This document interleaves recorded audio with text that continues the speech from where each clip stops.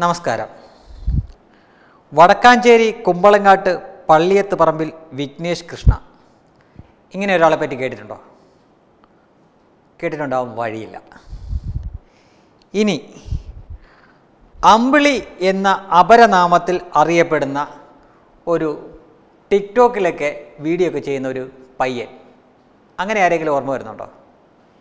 ഇപ്പോൾ ചിലർക്കൊക്കെ പിടികിട്ടുന്നുണ്ടായിരിക്കും.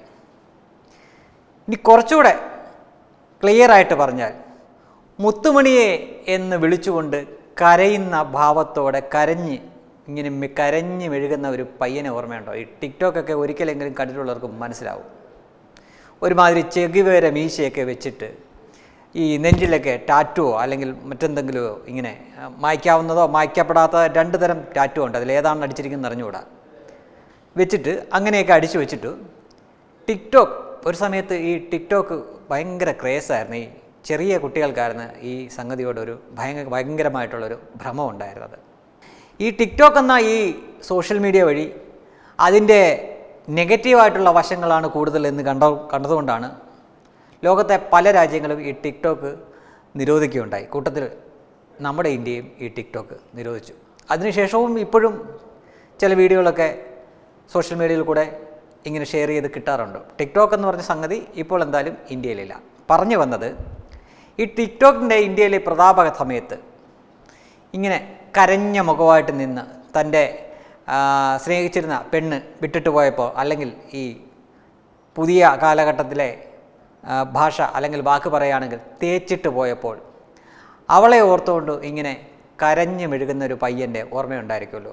ആ പയ്യന്റെ മുഖവും രൂപവും ഒക്കെ ഒരുപാട് ട്രോളുകൾക്ക് വേണ്ടി ഉപയോഗിച്ചിട്ടുണ്ട്. നമ്മുടെ കേരള പോലീസിന്റെ ഔദ്യോഗിക പേജ് പോലും ഈ പയ്യനെ വെച്ച് ട്രോൾ ചെയ്തിട്ടുണ്ട്. നല്ല കാര്യത്തിന് വേണ്ടിയിട്ട്.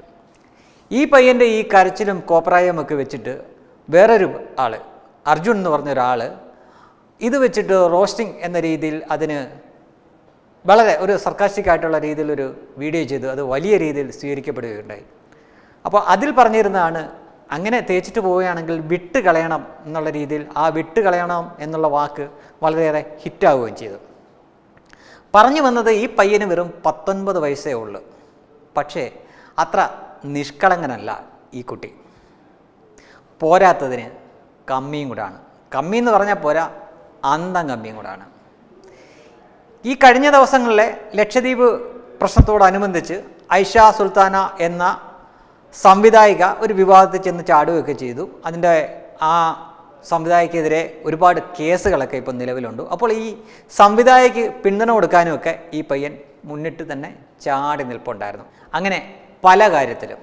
ഒരു ഇടതുപക്ഷ അനുഭാവിയാണ് എന്നല്ല പക്ക ഇടതുപക്ഷക്കാരനാണ് സി പി എംകാരനാണ് എസ് എഫ് ഐയിലൊക്കെ ഉള്ള പയ്യനാണ്. അപ്പം സ്വാഭാവികമായിട്ടും അങ്ങനെയുള്ള ടീമുകളെ പറ്റി പൊതുവേ നാട്ടിൽ പറയുന്ന ഒരു ഇതുണ്ട് ഇതേപോലെ നടക്കുന്ന പയ്യന്മാർ ഒന്നുകിൽ കഞ്ചാവായിരിക്കും അല്ലെങ്കിൽ പെണ്ണ് കേസുകളിലൊക്കെ ഉൾപ്പെട്ടിട്ടുള്ള ആളായിരിക്കും. ഒട്ടും തെറ്റിയിട്ടില്ല. ഈ പയ്യനിപ്പോൾ പോക്സോ കേസിൽ അറസ്റ്റിലാണ്. സംഗതി ഇത്രയേ ഉള്ളൂ. പ്രായപൂർത്തിയാകാത്ത ഒരു പെൺകുട്ടിയെ പ്രേമം നടിച്ചു പലതവണ തന്റെ ബൈക്കിൽ കൊണ്ടുപോയി പല ഇടങ്ങളിൽ കൊണ്ടുപോയി പീഡിപ്പിച്ചു. ഒടുവിൽ ഈ കുട്ടി പ്രഗ്നന്റായി. ഇപ്പോൾ അത് കേസായി അകത്തായി. ഈ പയ്യനെ സോഷ്യൽ മീഡിയയൊക്കെ ഉപയോഗിക്കുന്ന പലർക്കും ഈ പയ്യനെ അറിയാമായിരിക്കും. ഇതൊരു പാഠമാണ് കേട്ടോ. പല മാതാപിതാക്കൾക്കുമുള്ള ഒരു പാഠമാണ്. നമ്മുടെ കുട്ടികൾ വഴിതെറ്റി പോകാനുള്ള സാധ്യതകൾ കൂടുതലാണ് ഇന്നിന്റെ കാലഘട്ടത്തിൽ. കാര്യം അത്രമാത്രം പ്രലോഭനങ്ങളാണ് നമുക്ക് ചുറ്റുമുള്ളത്.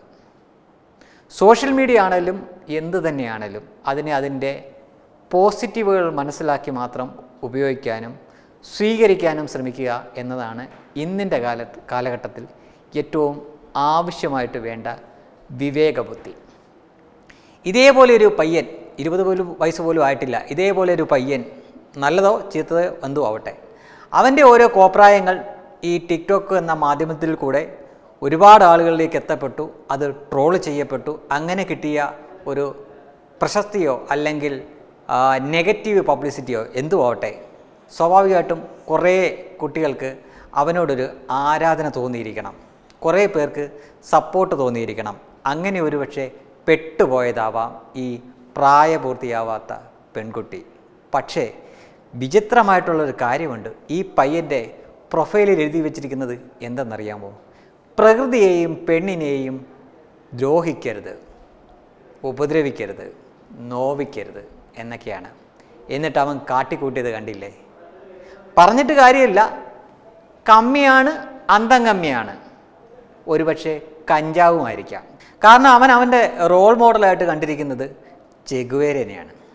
ഈ ചെഗുവേര അവർക്ക് വലിയ ആരാധന പാത്രം പുരുഷനൊക്കെ ആണെങ്കിലും യഥാർത്ഥത്തിൽ അയാൾ ഒരു ഭീരുവായിരുന്നെന്നും വലിയ ചുരുട്ടും കഞ്ചാവും ഒക്കെ വലിക്കുന്ന ഒരാളെന്നൊക്കെയാണ് ഇപ്പോൾ എതിരാളികൾ കുറേ കാലമായിട്ട് പറഞ്ഞുകൊണ്ടിരിക്കുന്നത്. അപ്പോൾ അങ്ങനെ ഒരുത്തനെ ആരാധിക്കുന്നവൻ ഇങ്ങനെയൊക്കെ ആയില്ലെങ്കിലേ അത്ഭുതമുള്ളൂ. ഇത് എല്ലാ മാതാപിതാക്കൾക്കും ഒരു പാഠമാണ്. ഇവന്റെ മാതാപിതാക്കൾ ഉൾപ്പെടെ അല്ലെങ്കിൽ ആ പെൺകുട്ടിയുടെ മാതാപിതാക്കൾ ഉൾപ്പെടെ എല്ലാവർക്കും ഇതൊരു പാഠമാണ്. സോഷ്യൽ മീഡിയ എന്നത് അല്ലെങ്കിൽ ടിക്ടോക്ക് പോലുള്ള സംഗതികൾ. ഇപ്പോൾ ടിക്ടോക്ക് ഇന്ത്യയിൽ നിരോധിച്ചതിന് ശേഷം ഈ ചെറിയ വീഡിയോ അതായത് കട്ട് കുറച്ച് മാത്രം ഒന്നോ രണ്ടോ മിനിറ്റ് മാത്രമുള്ള വീഡിയോസായിട്ട് വേറെയും കുറേ സംഗതികൾ ഇപ്പോൾ ഇറങ്ങിയിട്ടുണ്ട്. അത് ചില വീഡിയോസൊക്കെ കണ്ടു കഴിഞ്ഞു കഴിഞ്ഞാൽ ചെറിയ പ്രായത്തിലുള്ള അല്ലെങ്കിൽ പക്വത എത്താത്ത കുട്ടികൾ വഴിതെറ്റി പോകാനുള്ള സാധ്യതകൾ വളരെ വളരെ കൂടുതലാണ്. സോഷ്യൽ മീഡിയനെ വളരെ കരുതലോടെ തന്നെ കൈകാര്യം ചെയ്യണം എന്നതിന്റെ ഏറ്റവും അവസാനത്തെ ഉദാഹരണമാണ് ഈ പയ്യന്റെത് എന്തായാലും മോനെ അമ്പിളിക്കൂട്ടാ നിന്റെ കരച്ചിലൊക്കെ വളരെ ജോറായിരുന്നു. ഇനിയിപ്പം ഈ പോക്സോ കേസിൽ ഉൾപ്പെട്ടതിന് ശേഷം ഇനിയിപ്പം നിനക്ക് ആത്മാർത്ഥമായിട്ട് തന്നെ കരയാം. മുമ്പ് നീ അഭിനയിക്കുമായിരുന്നു ചേരുന്നെങ്കിൽ അല്ലെങ്കിൽ ഈ ചെറിയ പ്രായത്തിലുള്ള പെൺകുട്ടികളെ വീഴ്ത്താനുള്ള അഭ്യാസങ്ങളായിരുന്നു നിന്റെ കയ്യിലെങ്കിൽ ഇനി നിനക്ക് ശരിക്കും നല്ല രീതിയിൽ തന്നെ അഭിനയിക്കാതെ കരയാനുള്ള എല്ലാ അവസരങ്ങളും നിന്റെ മുന്നിൽ വന്നിട്ടുണ്ട്. Web desk news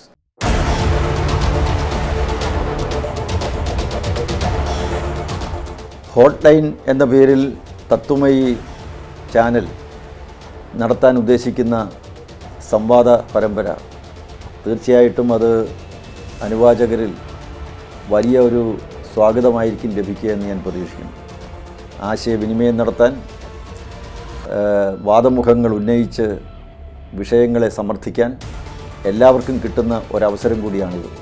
തീർച്ചയായിട്ടും ഈ ഹോട്ട്ലൈൻ ജനമനസ്സുകളിൽ വലിയ ഒരു പരിവർത്തനം ഉണ്ടാക്കാൻ ഇടയാകട്ടെ എന്ന് ഞാൻ ആശംസിക്കുന്നു. എല്ലാവിധത്തിലും അതിന് സ്വാഗതം ഈ നാട്ടിലെ ജനങ്ങൾ നൽകും എന്ന് തന്നെയാണ് എന്റെ പ്രതീക്ഷ. ഒരിക്കൽ കൂടി എല്ലാവിധ ഭാവുകങ്ങളും നേരുന്നു